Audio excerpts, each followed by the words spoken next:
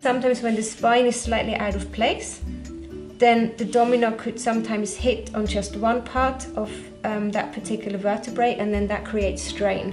So when we're doing the whole movement chain, the whole thing is out of place.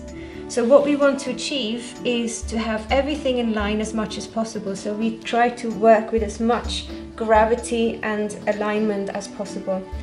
So it's the very, very same with the movement. You don't create the movement, you create the process you're also moving your gut. Your gut is an organ. There's loads of other organs in there as well.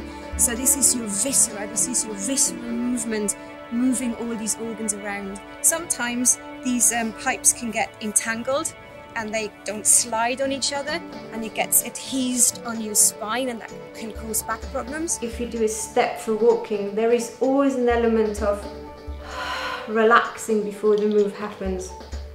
Relax and let the move happen. So you let go, you drop before you move. For them to dock into the correct joint alignment or joint line, that's why we have to have them in a specific axis. That is the most economic way of being really.